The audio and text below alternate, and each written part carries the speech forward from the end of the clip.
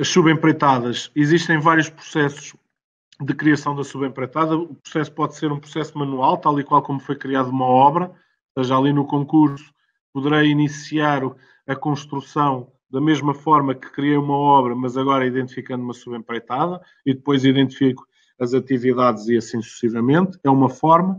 Como posso criar uh, por uh, pedidos, é, é, extremamente ágil a forma como se criam subempreitadas. Posso criar as subempreitadas através dos pedidos de preço.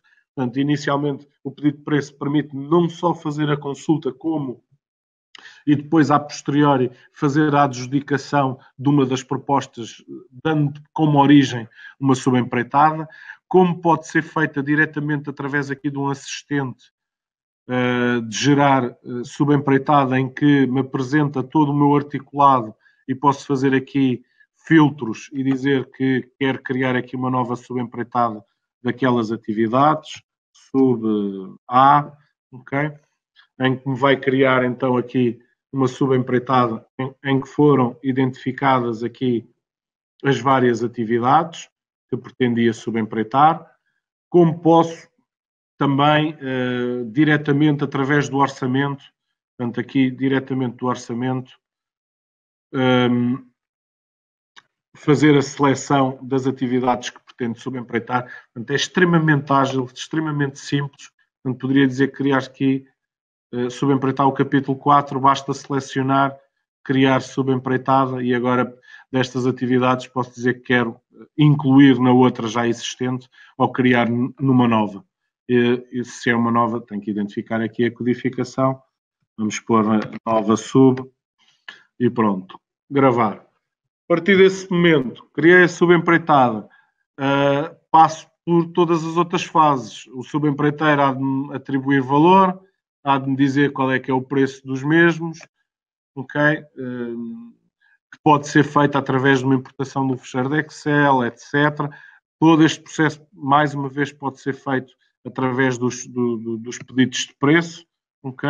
Também vou colocar aqui 50 euros, uma coisa rápida, só para poder avançar, e a partir deste momento posso uh, também fazer os mesmos processos, que é, no fundo, por um lado, adjudicar o concurso, a um subempreiteiro, por outro lado, consignar a subempreitada. Portanto, neste caso foi esta, e agora uh, alterar aqui também para ehm, consignar a subempreitada. Já agora, deixem-me só fazer mais aqui um realce, não sei se, se, se está a ser claro ou não, mas reparem que eu, diretamente da minha obra, eu vou fechar tudo, eu dentro do meu painel da obra, eu controlo uh, a obra pelo um todo. Ou seja, eu não só controlo tudo aquilo que seja associado à obra principal, como todas as subempreitadas associadas à obra principal, como todos os contratos adicionais possam existir sobre, sobre a obra. Portanto, eu dentro deste painel consigo controlar e aceder a toda a, toda a informação. Ok? Bom, neste caso não era esta a obra, era esta. Pronto, a partir do momento em que eu criei as subempreitadas, das subempreitadas já consignei a obra, a forma como eu posso registar o custo da subempreitada é feita através aqui dos autos de medição.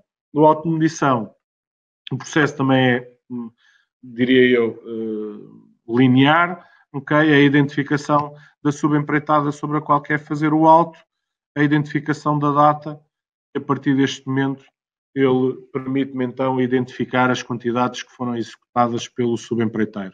A identificação das quantidades, essa identificação pode ser em quantidade, pode ser em percentagem, uh, em percentagem deste auto ou em percentagem acumulada. Posso dizer que já fez 20% da obra uh, e 40% da outra. Okay? Pronto, ao gravar, este registro fica pendente para atualização, portanto, eh, a qualquer momento eu posso identificar aqui que está ou não autorizado. Esta alteração do estado também está dependente dos perfis, portanto, poderá haver pessoas que não têm acesso. E a partir daqui, deste momento, se for ao controle, já tenho então aqui o valor das subempreitadas por força uh, do respectivo uh. Ok? Pronto. relativamente uh, ao controle de proveitos, o controle de proveitos é feito através dos autos de medição. Okay? Então, dentro aqui dos autos de medição, a lógica é, é em tudo semelhante à subempreitada, a diferença é que, obviamente, aqui uh, não, é, não é um custo, mas sim um, um, um proveito. Portanto, a mesma lógica, criar o auto, a identificação do auto, e a partir deste momento permite-me, mais uma vez, a introdução, permite-me, por um lado, identificar, fazer o auto adjudicado, que é o auto de faturação, e temos o auto executado, que no fundo é o auto de produção. Portanto, foi aquilo que efetivamente foi executado versus aquilo que eu pretendo faturar, que nem sempre é, é, é, é igual, ok? Portanto, o auto executado é, é aquilo que é, é, é, o auto de produção, é a forma como é mais conhecido. Portanto, foi aquilo que efetivamente eu já fiz, o auto adjudicado é aquilo que eu vou faturar ao meu cliente. O registro é exatamente da mesma forma, portanto, posso introduzir em quantidades, posso colocar aqui, posso fazer em, em termos percentuais ou em termos uh, percentagem acumulada. Ok? Posso também aproveitar o facto de ter, uh, de ter uh, subempreitadas e ver eventualmente o que é que foi subempreitado ou não e aproveitar estas quantidades para que não tenha que novamente as registar. Ok? É um processo mais linear para que não tenha que novamente registar. A partir do momento em que faço o alto, o alto é gerado, mais uma vez tenho aqui valores, neste caso até tive trabalhos a mais, devo ter colocado aqui mais quantidade do que aquela que tinha, também não interessa, para aqui, mas pronto, a partir deste momento, se eu for aqui ao controle, neste momento eu passei a ter aqui um alto não autorizado, tenho então a possibilidade de fazer então a alteração do estado, dizendo que, sim senhora, está tudo em conformidade, ao fazer esta atualização, ele já vai ao controle fazer o respectivo atualização do valor e depois, finalmente, posso faturar este alto. Essa faturação, existe a possibilidade de eu diretamente, através do Construction, dar origem ao, ao, ao, a um documento do lado, do lado do, do RP. É inclusivamente possível também introduzir aqui retenção uh, para a Caixa, uh, a retenção de garantia, como para a Caixa Geral de Apresentações ou a dedução de, de, de, adiantamentos, que eu neste caso não, não preenchi, portanto vou já faturar. Portanto, aqui permite-me inclusivamente identificar aqui a forma como é que eu quero, se quero incluir os níveis de detalhe ou não, qual é que é uh, qual é que é a forma que eu pretendo uh, faturar? E a partir deste momento, ao fazer aqui